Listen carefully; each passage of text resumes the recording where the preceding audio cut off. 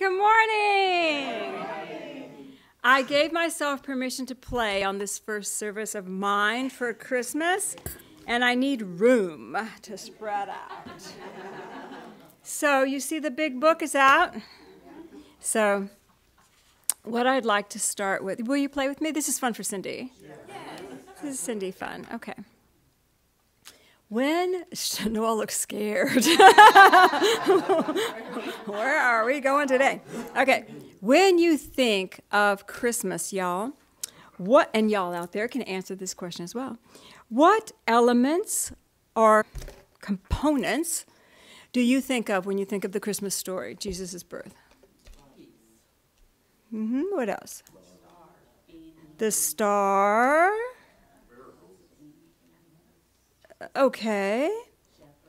Shepherds. Manger.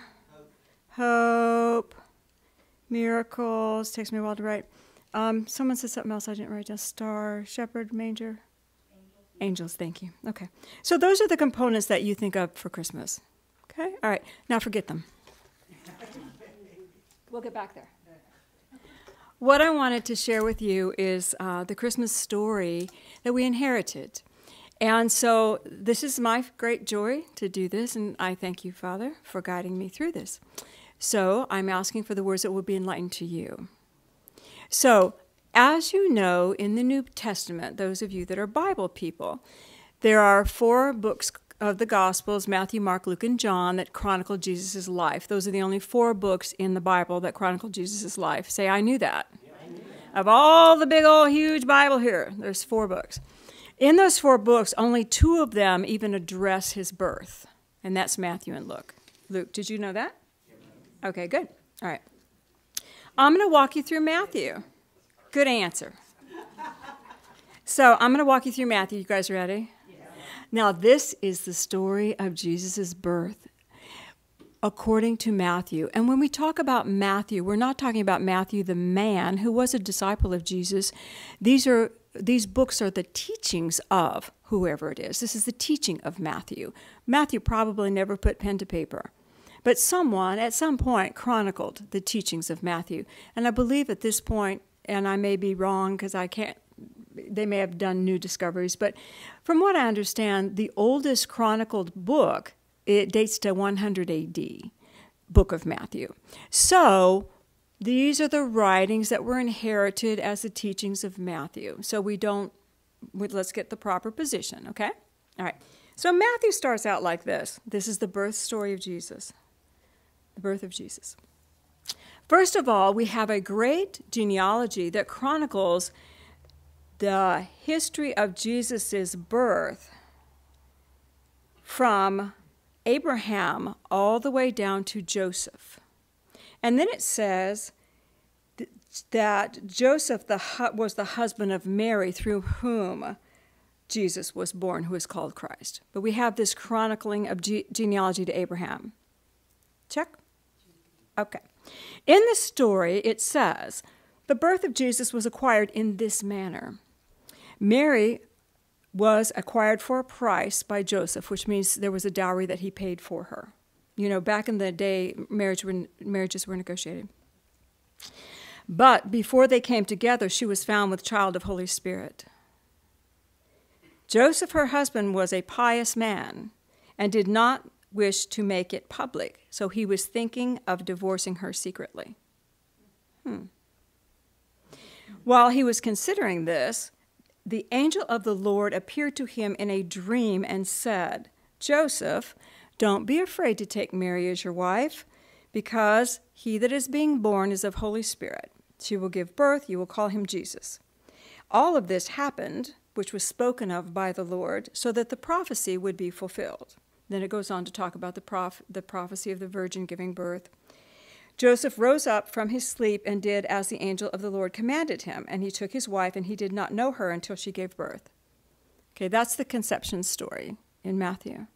Here's the birth story Jesus was born in Bethlehem of, of Judah in the days of Herod the king, and Magi came from Jerusalem. That's your birth story. Okay? Magi came and said, Where is this king? They came to his town, came to, to Jerusalem. Where is this king? For we have seen his star. And Herod the king said, Who are these wise men coming into my town? And so he gathered all of his scribes and said, What is going on? And the scribes went to the prophecies and said, There is a prophecy that this king will be born in the city of Bethlehem.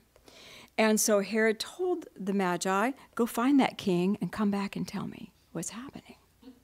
And this is what happened. So they went, they followed the star, and they were taken to a house where they saw the infant Mary, the infant and Mary. They worshiped the baby and they offered him gifts gold, frankincense, and myrrh. Now, we don't understand frankincense and myrrh, we understand gold, but all three were uh, monetary commodities. Frankincense was of monetary value, myrrh was of monetary value, and gold was of monetary value. You guys with me so far? Good story, huh? Then they were told in a dream not to go back to Herod because Herod had bad tidings for the babe. They went. Then Joseph was told in a dream, Go to Egypt, you're not safe. He went. Herod got mad and said, I shall kill all the babies. So Herod went to the little town where they, they were born and killed all the children, boys that were under two. Killed them all, so that a prophecy would be fulfilled. Then the prophecy was fulfilled, and then the great weeping occurred, and then Joseph was in Egypt, and he had a dream again, and he was told again in a dream to go back. Then he was told again in a dream to go to Nazareth, so another prophecy could be fulfilled. That's the birth of Jesus. What do you think? There we go. Okay, so this is what we see. Did you notice that there was a lot of guys in this story? Did you notice there's a lot of prophecies in this story? Okay. And there is a lot of lack of support in this story. So we have um, in this story powerful men trying to destroy that which is being born. In this story, we have a need for the baby to be saved. In this story, God speaks to people in dreams, but who does he speak to? Men. He speaks to the men in dreams. He speaks to the men in dreams. And the baby is saved, but is every child saved? No, there are child that are there are children that are killed. So there is a sacrifice in this story for the children to protect the baby that came. So we have this huge male authority that is against the birth. We have the male at first not wanting to be a part of it, you know, and then we have the whole male authority being against the birth and the dreams protected. This story is about God working through men. So here's bottom line it. The male had to agree, number one, but then the wise men, the wise males came and honored. Powerful men tried to destroy male opposition. God saved them through the dreams. It is tied to the prophecy. What we're looking at, this is the path of the Christ this is how the Christ consciousness got brought into a group of people. And it was through this method. Matthew was a Jew, he was teaching Jews about Jesus. So the way he taught them was to tie down prophecies. The way he taught them was to make, make God save Jesus from the get go, from the opposition, because they lived in oppression. So, as the Christmas story is told in this very male dominant and aggressive way, the Jewish mind would go, I'm getting it. I can accept the story of this man. Do you hear what I'm saying? It was the path into their consciousness that, that they could access Jesus Christ, the energy of Jesus. So the mind had to accept, the power had to acquiesce in the story, they had to be protected, but God would save. And was not salvation what they were looking for? The Jews at the time were oppressed, they were looking for salvation. Got it? But it was the path that they could accept. Matthew. How much of Matthew do we keep? I'm just saying. Okay, we're going to go to Luke now. Y'all, are you having fun yet? Yes. All right. The story of the birth is quite elaborate in Luke. And Luke, we, as you know, Luke did not know Jesus. Luke was not a disciple or an apostle. Luke was a physician who traveled with Paul, who was an apostle, who also never knew Jesus in the flesh. You know, they had spiritual meetings, but they never knew him in the flesh. So Luke is um, writing because someone has asked him to. And I've always called Luke like a reporter. It's almost like he's interviewed people and he's writing down what they said. So Luke's writings are very elaborately conversational, very elaborately conversational. So we don't know exactly. Again, again, the writings are 100 years old. The writings of Luke, who knows? Who knows? This is what we inherited. Ready? All right. As it begins, we're told the story of John the Baptist. Now, John wasn't even mentioned in Matthew, was he? We're told the story of Zacharias, which is uh, married to Elizabeth, who was Mary's cousin, Mary, the mother's cousin. And they're old, they have no children. And an angel appears to Zacharias, who's a priest, and he says to him, Fear not. The angel does not talk to him in a dream, the angel appears to him in the flesh. And Zacharias, who is a priest, is startled, obviously, and the angel says, Fear not. How would you feel if an angel appeared in front of you? You would need to hear Fear not. fear not, Bonnie. and the angel said, I'm going to give you all a son. You will name him John, and he's going to be a great man, and gives him lots of words about what John's going to do. And you all know if your Bible, John preached Jesus is coming. You know, he was the, the way shower. Okay. He spoke of Jesus coming. Then we switch immediately to, and this angel identified himself as Gabriel. Then immediately we see this young girl named Mary, and this angel appears before her and immediately says, Fear not. Because Mary's startled and afraid, and then he said, I have good tidings for you. You're going to be this. You're going to give birth to a child, blah, blah, blah. Mary says to him, How is that possible? I've known no man. And then the angel said, The Holy Spirit will come on you and you will give birth, and blah, blah, blah. Okay. What we have immediately is otherworldly things interacting in the world of man. We have the angel appearing, we have the discourse, and the first thing the angel says is, Fear not. Okay. There is a lot of talking, and there is a lot of praising God. And we're praising God for this, and we're praising God for that, and we are really praising God. And I'm not diminishing it, I'm just saying they are praising God. They are not tying down prophecy. So you say, Why not, Cindy? Oh, I have a good answer for you. Do you know who Paul ministered unto? They were called Gentiles, they were pagans. They wouldn't have known the prophecies if you told them. They were not Jews. But they were used to multiple gods. And do you know what they were also used to? Gods mating with humans in their histories. That was not uncommon that a god might one day mate with somebody and have a superhuman being. None of this was outside of their realm of possibilities. Do you see? And who are we dealing with? Angels talking to us.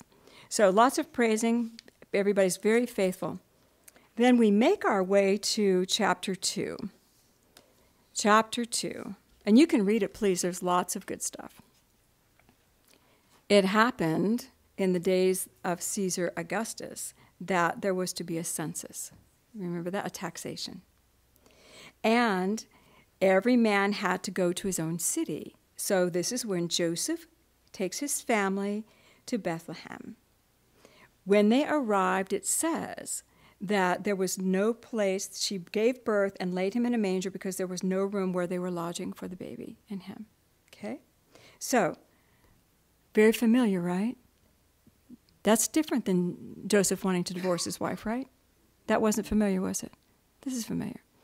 So, there were shepherds in the region, and they were staying, and they were watching their flocks. And behold, the angel of God came to them, and the glory of the Lord shone around them about them, and they were in great fear. And what did the angel say to them? Fear not, do not be afraid. Again, we have angels in the flesh looking at people and saying, Don't be afraid. Three times. Three times. Okay. Then they say a Savior is being born. You shall find the babe in the manger. And then the, there's heavenly hosts appeared, praising God, glory to God in the highest, peace and good hope for men. It came to pass, and you will hear all of this on Christmas Eve. Yeah, and it came, yeah, because you read it. And it came to pass.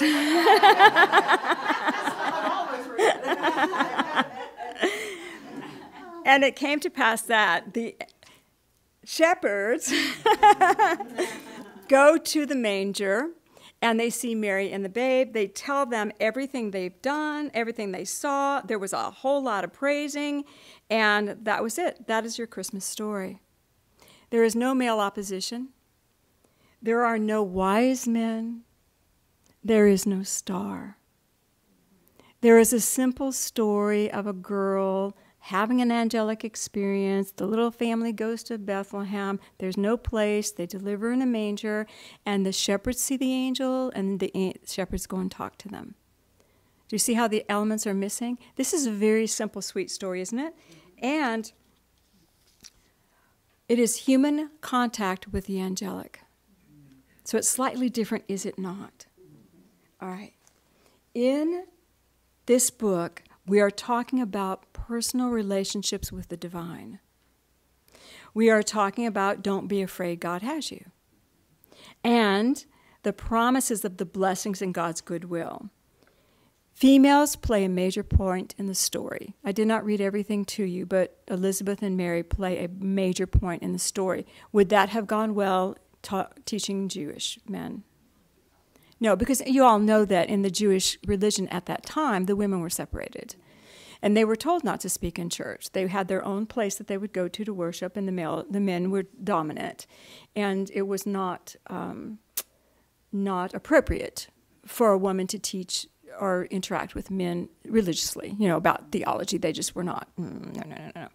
And we all know that Christianity survived and prevailed because the women kept it going. The women kept the home hearth burning and kept teaching their children and teaching the people and gathering the place. The men might have gathered and talked, but the women kept it going. And that's when the religion became, Christianity made it equal. Luke is introducing the female power. And what is it but a simple and humble receptivity? So we have females playing a major part, God, and God will tell everybody that needs to know. So it's a condition of personal relationship with God. Hmm. That is a story that the pagan Gentiles could have received. Walking in a personal way with God, that is how they could have found the entry of Christed consciousness into them. Got it? Okay. We tell stories. And in the stories we tell, we shift to make it reflect us. And that's why we don't tell Matthew's story much, do we? We don't tell Matthew's story, but we have a few elements out of Matthew's story. What do we take? The, star and the wise man. Why? The star represents divine guidance. And the wise men are so smart and they bring us wealth. They bring us money. You know, a lot of people come to metaphysics when they are in lack. And what's the first thing they start praying for? Wise men, I need some wise men to bring me money. I need some wise men to bring me some gold and some myrrh, and I need some wise men to teach me what I need to know so I can be prosperous in the world. We need our wise men, don't we? And then, second thing they ask for is the star. Okay, now give me a guiding star. People new to metaphysics, do you know how many of them ask for an angel to stand in front of them? No. no. Cry will be afraid. I would just like to have some food on the table. I would like to have some money in my bank account. And I would like to mm, have you guide me so I can make a choice whether I do it or not. Very simple. We love Matthew's points, don't we? So we keep those in our story. We had them in our story, didn't we? We wrote them down. Okay. I will eventually want to take some shepherds into my story as well because the shepherds are the people that humbly support my journey. The shepherds see my potential. The wise men see my potential and they support my journey. These are the humble people that will actually be with us. These are the people around you. This room is full of shepherds for you. They will support you. This is why we church, so we can support each other, so we can become that shepherd for one another. We don't come to church so that we can all be each other's wise men in knowledge or support. We come to be a community. And most people who come are completely unaware that they are birthing the Christ in them. There is a baby that's being born. The baby loses it in the story. The circumstances become the big deal. But there is a baby that's going to need to be fed, that's going to need to grow. And that is the Christ within each individual as we come into this crisis story. So, yes, we want our guidance, and the Christ in me needs to grow. Oh, I got to feed that Christ? Yes. Oh, let me still just think about the star. Do you hear what I'm saying? These, the story that we currently tell is our way to let the Christ within us be born, but we have to feed it. Okay.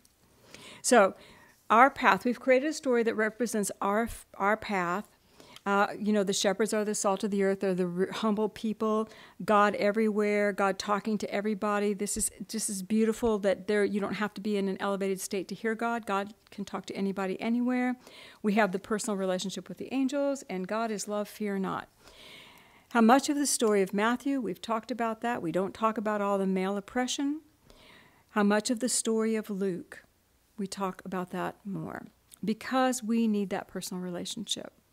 And that is our in to God. Got it? Okay. So, what did we say? Where's my notes? The star, we have a star which is the divine guidance. That's out of Matthew. We had the manger, which is Luke.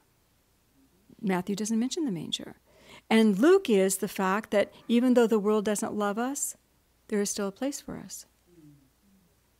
So that's in our story. Even though the world doesn't love us, there's a place for us.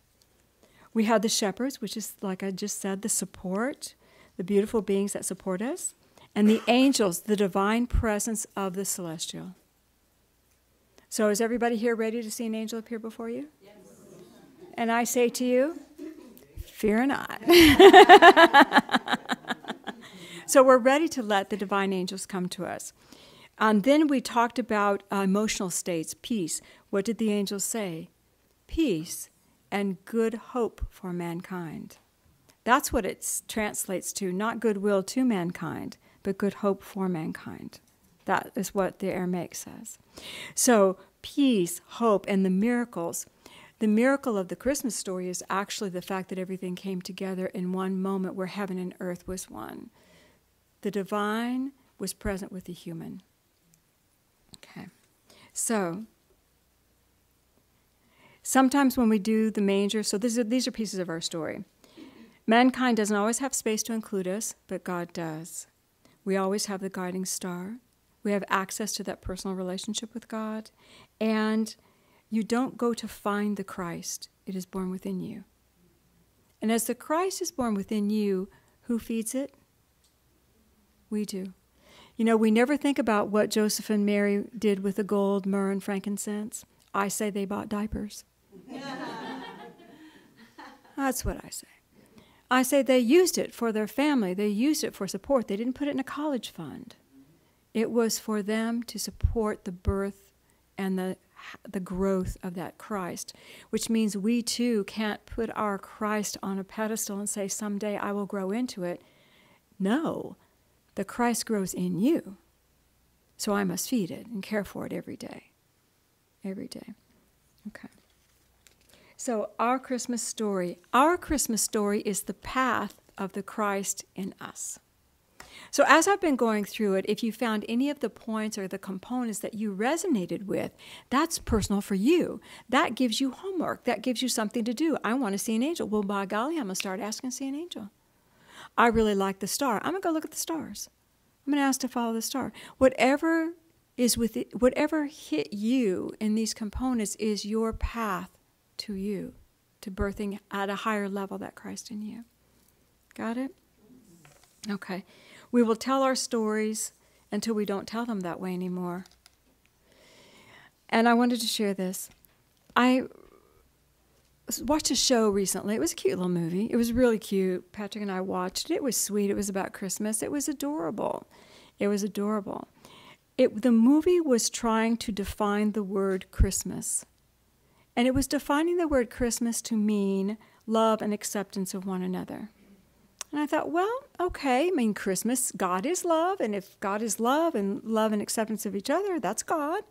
So that, uh, um, yeah, I'm not going to call it bad, I'm going to call it good. But for me and who I am in my story, my story needs Christ, the Christ consciousness. My story needs that knowing of the being that brought the love of God to the planet in a way that we can access, in a way that opens us up.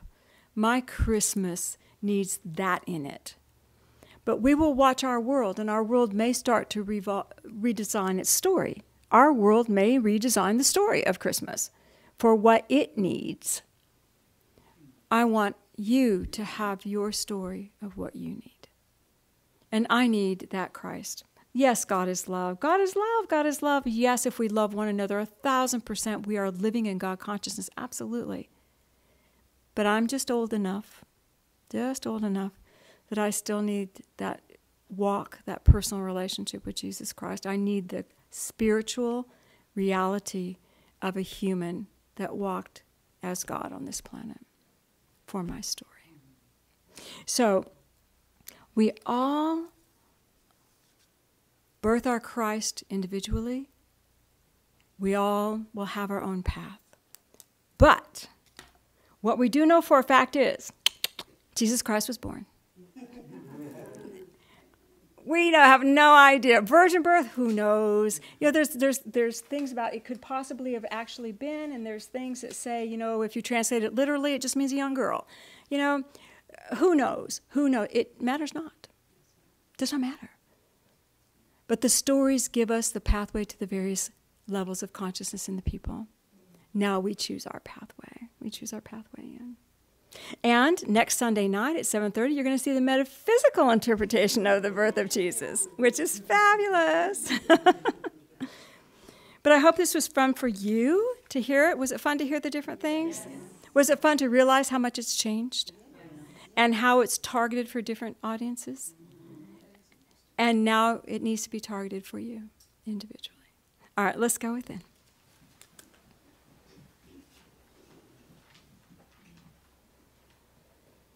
Father, Mother God, we open our hearts.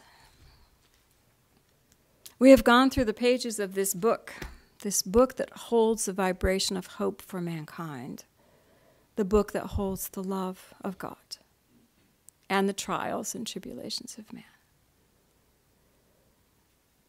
But Father, we breathe in the love and the hope. And I ask that your energy just begin to engulf us all. And as it moves, I ask that each one begin to feel the angelic forces around them. Beautiful angel energies that guide and teach and hold them safe. And as you open to that and you begin to feel them, there is nothing to fear. Open to feel the love, the support.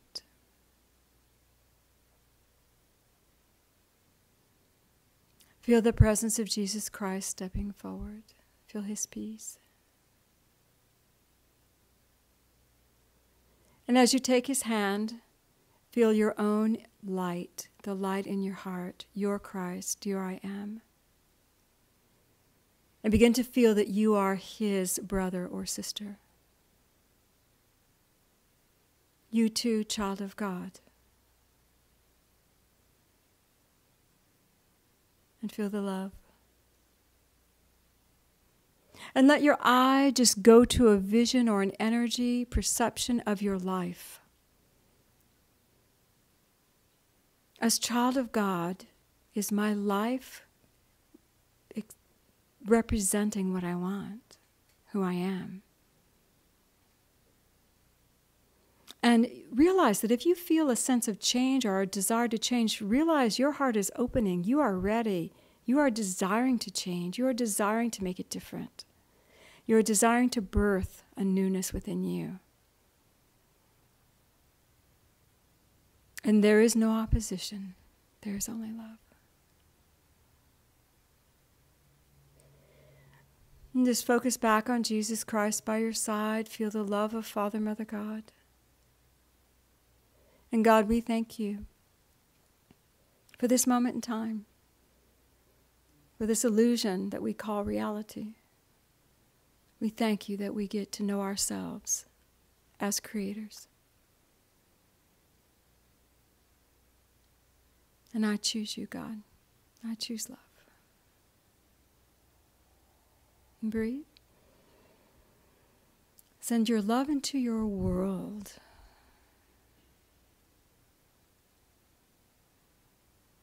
And if you are ready, you can choose to feed and nurture that inner Christ. And we thank you, God. And so it is. Okay, you can gently open your eyes.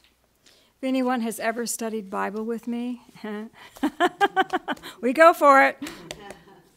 I hope that was fun for you, and I hope that as you're going about your Christmas uh, celebrations, that you start feeling the beautiful Christmas energy, which is truly the love of God and the love that we have for one another, and that knowing that I am perfect. I may not be looking that way right now, but inside I am. I'm perfect. I'm divine. I'm, I'm amazingly God's child. And I can do it different every day to show that greater and greater. So let's walk this Christmas season with that Christ that came to us and the Christ within us guiding. Now say, Yea, God. Yea, God.